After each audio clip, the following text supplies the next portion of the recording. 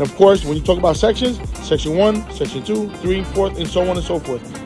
Louie, Louie, Louie, Louie, Louie, Louie, Louie, Louie. Oh, I'm the boy. Guys, mi gente, everybody's asking me, what's a boiler block? What are you looking at? That's a boiler block. However, they come in sections. So just to show you guys what a boiler block is, basically a block we call it because they're all together, but now they come in sections. Well, they always come in sections, but so basically all these sections when they put together, where five sections together, you call it a boiler block. And then of course you call the sections individual sections. So guys, so remember, boiler block is when you have the whole block. And of course, when you talk about sections, section one, section two, three, fourth, and so on and so forth.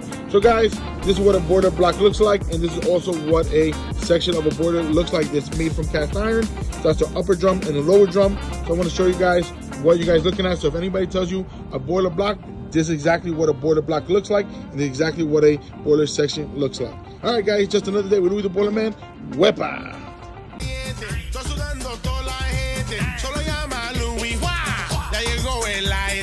Louie, Louie, Louie, Louie, Louie.